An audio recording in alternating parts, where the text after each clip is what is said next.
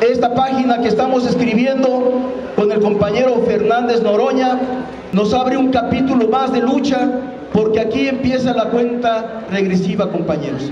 De aquí al 2012 no nos tenemos que sentar, no nos tenemos que quedar callados y tenemos que salir a las calles, tenemos que convencer, compañeros, a todos nuestros conocidos y no conocidos para que los únicos compañeros que pueden llegar a gobernar son los compañeros que se están sumando a este proyecto de nación de Morena, este proyecto que ha demostrado que es el que se acerca cada vez más a nuestras posibilidades y a nuestras necesidades.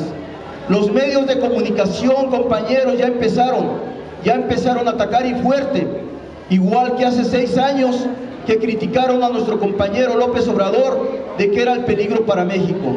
Hoy ya nos dimos cuenta que el peligro para México ha sido el PRI y el PAN. Han sido los dos partidos que han saqueado las riquezas de nuestro país. Se las han repartido, se las han repartido a sus amigos.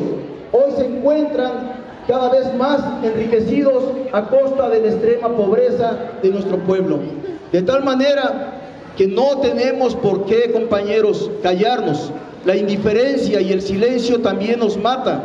Por esa razón es importante, muy importante, salir, como les comentaba, a las calles y convencer a todos los que podamos para que se sumen a esta lucha. Los medios